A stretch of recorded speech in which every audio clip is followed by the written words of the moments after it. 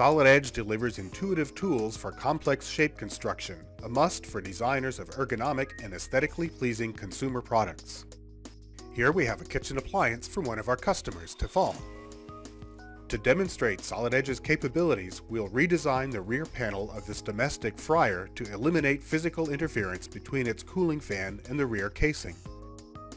An industrial designer has modified the rear panel in conceptual sketches, so we'll display these in Solid Edge.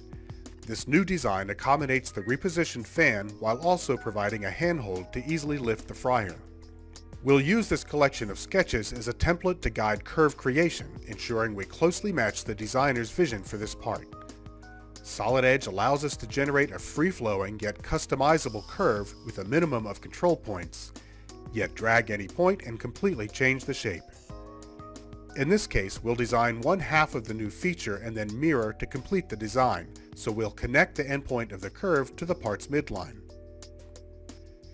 Here we'll use two pre-existing sketches placed relative to the top and bottom in the industrial design sketch. Once again, we'll draw a curve to match the side profile of our template and connect the endpoints to these upper and lower sketches to define the exact start and endpoints for the final feature. We drag control points to replicate the conceptual shape. The cross and guide curves must be connected to create a successful surface feature, and Solid Edge Blue Dot does the job. We'll extrude this curve to create a construction surface for controlling tangency across the midline of a symmetric part.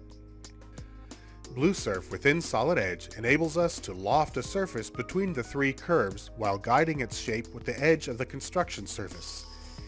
Individual tangency controls ensure that the BlueSurf is tangent continuous with the construction surface and thus the mirrored face. Our next task is to trim away part of the surface we don't need, We'll project onto our surface an existing curve based on the conceptual sketch. Simple and fast. To complete this rear surface, we'll stitch together the two halves. The ruled surface command extends the edges through the existing casing part. Advanced rounding really aids the aesthetics, so we'll place a constant width round along the edges. Next we'll use surface body by boundary to cap off the inside of the surface body. Stitching these two faces will form a solid body that we can use to punch or emboss the original part. Simple and fast. We can finish the design by rounding the resulting edges.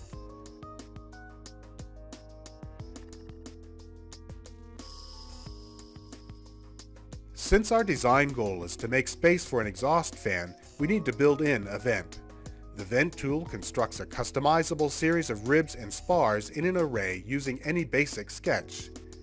Imagine creating this complicated feature with traditional cutouts and extrusions. Creating complex shapes in Solid Edge is easy, yet smoothness and flow of the final plastic is of utmost importance. In this part, we have six individual faces along the top.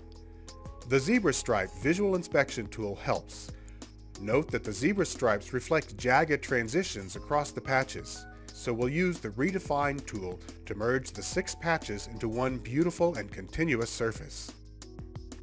Now that we've seen some powerful surfacing tools in Solid Edge, watch as we create complex geometry utilizing multiple solid bodies. This fryer uses a stirring paddle to ensure an even distribution of cooking oil throughout the food so we need to design an arm coming off the paddle's mounting hub. To begin, we have a top view sketch of the arm's shape and a side profile sketch depicting how the top of the arm curves away from the center mount. We'll combine these sketches to generate a resulting cross curve of their virtual intersections. As we create a series of profiles through which we can create a lofted feature, we'll use the pre-existing curves to guide the feature's transition through the cross sections.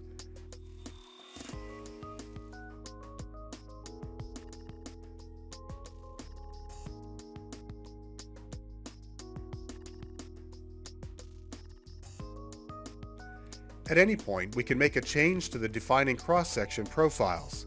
Watch how the complex lofted feature dynamically updates. In this case, we want to retain the original design. To finish this arm, we'll place a constant width rounds on the top edges. The end of the paddle is a proven design that we're simply going to integrate into our paddle arm. Watch as we use the Replace Face command to trim away the end of the arm body. Our final goal is to hollow out the paddle's face. A Replace Face option allows us to add a cross-section sketch which we can pull inward. That was easy. In this demonstration, we've proven that Solid Edge provides a broad collection of surface and solid modeling tools, perfect for creation of complex consumer products. Solid Edge. Design better.